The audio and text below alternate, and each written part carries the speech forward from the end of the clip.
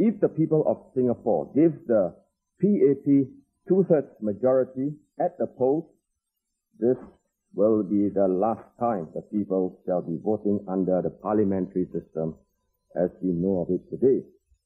Welcome back. Today, we'll watch a 1988 debate on whether Singapore should have an elected president. In doing so, we'll see common tactics that politicians use against each other in debates. First, some context. Up to the 1980s, Singapore's parliament chose its president, and the president had a largely ceremonial role. In 1988, the Singapore government proposed the elected presidency. The proposal had two key components. First, people would directly vote for the president. Second, the president would have more powers. They could veto the use of the reserves and key civil service appointments. The opposition, well, opposed these proposals. There was a firestorm of comments. As a result, government and opposition leaders agreed to debate each other in a televised debate. Goh Chok Tong and Lee Hsien Loong argued for the government. They would both later become prime ministers of Singapore. Lee Kuan Yew didn't take part in the debate. Why? Even though he was prime minister, he was preparing to hand over power to Goh Chok Tong. Lee publicly said that he would be Singapore's goalkeeper. Goh would handle day-to-day affairs. Chiam See Tong and J.B. Jeyaretnam argued for the opposition. Chiam See Tong would become Singapore's longest-serving opposition lawmaker.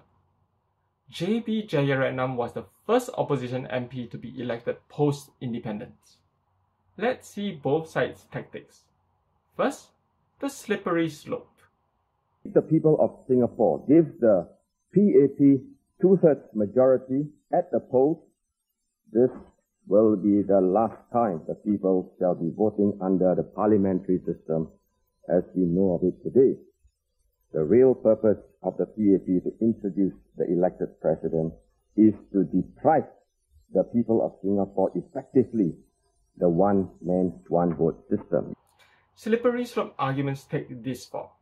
If X happens, then Y will happen.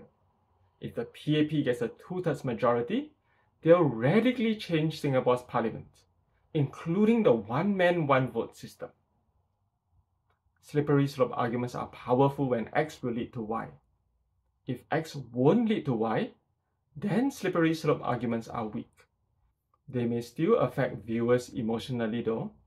How strong is Mr. Chiam's argument? I'll let viewers come to their own conclusion. Another tactic is to directly attack the person making an argument.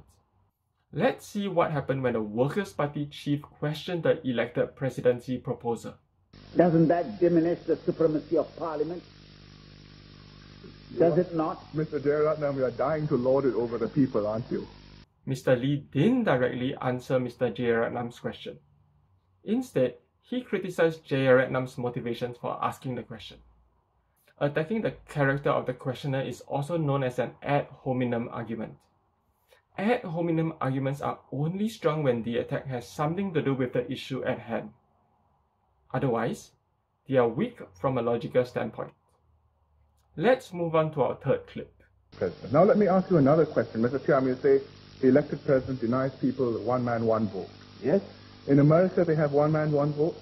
yes, They vote for a president. but their system is different. They vote for a president. Yes, Therefore, an elected president does not in itself mean that one man, one vote is we have got a different system here.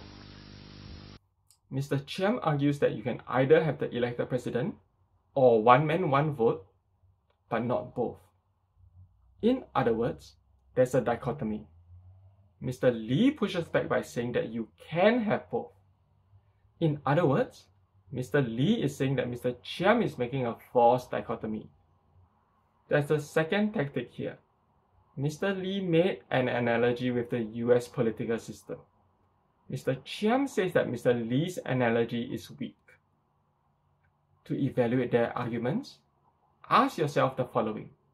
Can we both have an elected president and a one man one vote system? Is the US president's role analogous to the Singapore president? And now, the final clip. No, you can you can amend the constitution in one hour on the certificate, uh, in one afternoon on a certificate of emergency. Three readings, one, two, three. Which could be done without an elected president. No, you must have an elected No. president. Why? But, You can have a free readings without an elected president. well, you would not have the Why? moral. You would not have the moral authority. you would not dare to.